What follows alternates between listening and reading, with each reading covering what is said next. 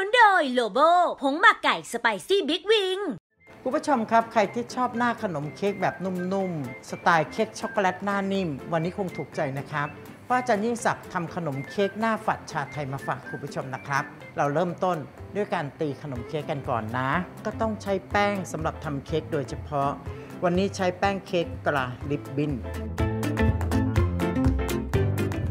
ใส่แป้งข้าวโพดนิดหนึ่งผงฟู เกลือป่นเสริมไอโอดีน และน้ำตาลทราย คนส่วนผสมทั้งหมดให้เข้ากันนะคุณผู้ชม วันนี้เราอยากจะทำเค้กให้มีรสเป็นชาไทย และทำให้เนื้อของขนมเค้กนุ่มละมุนละเอียดชุ่มฉ่ำและกลิ่นหอมมากคุณผู้ชมผงทำสังขยาชาไทยตราโลโบ ลุกเคล้าให้เข้ากัน ใส่น้ำสะอาดลงไปเป็นน้ำเย็นจัด ไข่ไก่ก็แช่เย็นจัดๆเลยใส่ลงไป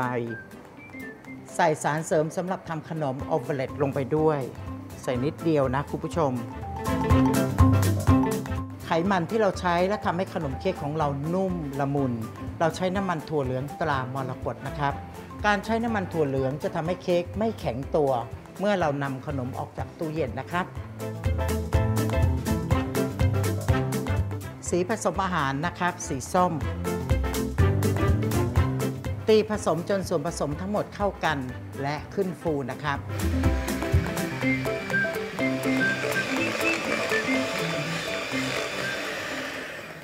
ลักษณะของเค้กที่ได้ข้นมีความเป็นครีมและก็เหนียวเล็กน้อย ส่วนผสมไม่แยกชั้นใด ๆ เลยคุณผู้ชม ลักษณะแบบนี้พร้อมแล้วที่จะตักลงพิมพ์นะครับ ตักส่วนผสมใส่ลงพิมพ์ คุณผู้ชมอยากให้ทุกชิ้นเท่ากัน คุณผู้ชมก็คงต้องชั่งน้ำหนักสักหน่อยนะคุณผู้ชมนะ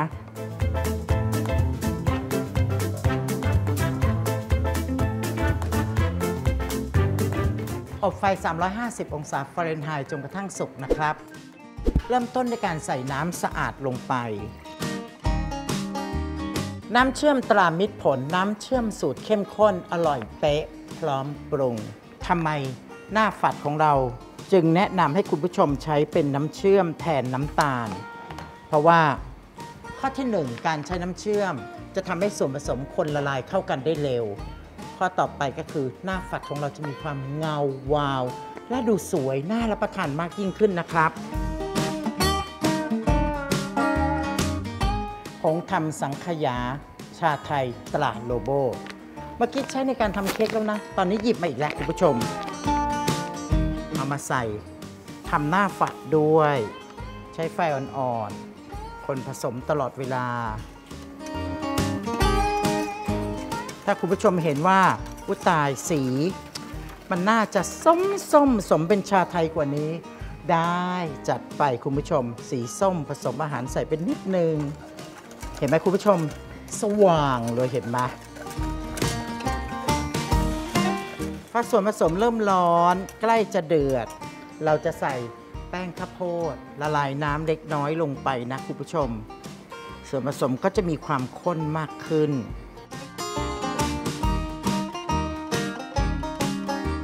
เห็นไหมคุณผู้ชมส่วนผสมเริ่มจะข้นแล้ว แล้วก็เนยสดใส่ลงไปสุดท้าย จะได้เพิ่มกลิ่น แล้วก็ความน่ารับประทาน ต้องแน่ใจว่าเดือดปุดๆ แป้งจะได้สุกคุณผู้ชมลองดูนะ เนี่ยลักษณะแบบนี้ นี่แบบนี้ถือว่าสุกแล้วเราก็ปิดเตา ยกลงคนต่ออีกสักครู่นะคุณผู้ชม เอาละคุณผู้ชม พอคลายความร้อนเล็กน้อย ก็เทลงไปในพิมพ์ที่เราทำขนมเค้กไว้นะคุณผู้ชม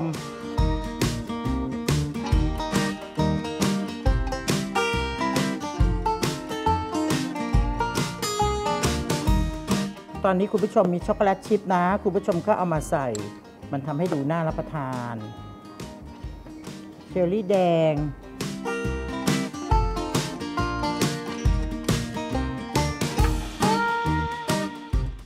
เสร็จแล้วครับ เค้กหน้าฝัดชาไทย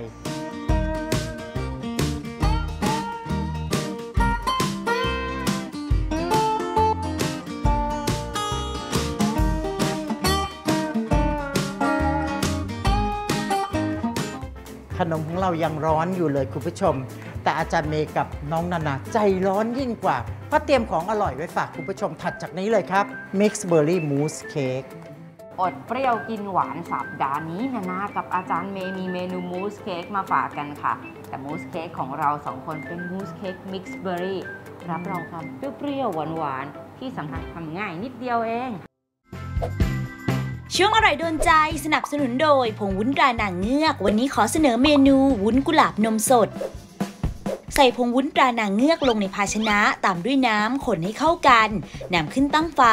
คนตลอดเวลาจนส่วนผสมเดือดทั่ว เติมน้ำหวานเข้มข้นกลิ่นกุหลาบคนจนส่วนผสมเดือดอีกครั้งแล้วปิดไฟ เกร็ดความรู้การทำวุ้น การเติมน้ำหวานเข้มข้นกลิ่นกุหลาบ ในขั้นตอนหลังจากวุ้นเดือดแล้ว จะช่วยรักษากลิ่นของน้ำหวานไม่ให้สูญเสียไป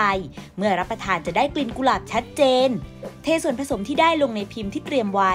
พักจนกระทั่งวุ้นทรงตัวดี ตัดเป็นชิ้นสี่เหลี่ยมเตรียมไว้ ใส่วุ้นกุหลาบลงในแก้วเสิร์ฟประมาณ2ส่วน3ของแก้ว เติมฟองนมประมาณ3ส่วน4ของแก้ว วางแต่งด้านบนด้วย white chocolate compound ขึ้นรูป วางตกแต่งด้วยวุ้นกุหลาบหั่นชิ้นสี่เหลี่ยม และวุ้นกุหลาบแกะเป็นรูปดอกไม้ให้สวยงาม พร้อมเสิร์ฟค่ะกับเมนูวุ้นกุหลาบนมสด เมนูโดนใจจากผงวุ้นตรานางเงือก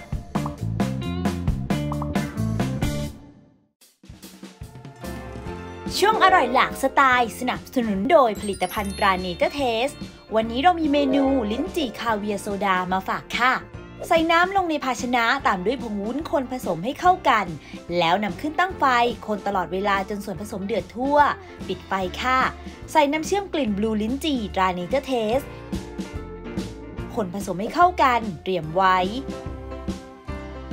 หยดส่วนผสมที่ได้ใส่ในน้ำมันพืชที่แช่เย็นจัดจนหมด จากนั้นกรองผ่านกระชอน และนำไปล้างน้ำเย็นใส่ภาชนะเตรียมไว้ ใส่เลมอนหั่นแว่นลงในแก้วเสิร์ฟ ตามด้วยน้ำแข็ง โซดาและคาเวียร์ที่เตรียมไว้ ตกแต่งด้วยดอกกล้วยไม้ พร้อมเสิร์ฟค่ะ แค่มีน้ำเชื่อมตรา Nature Taste ไม่ว่าจะรังสรรค์เมนูอะไร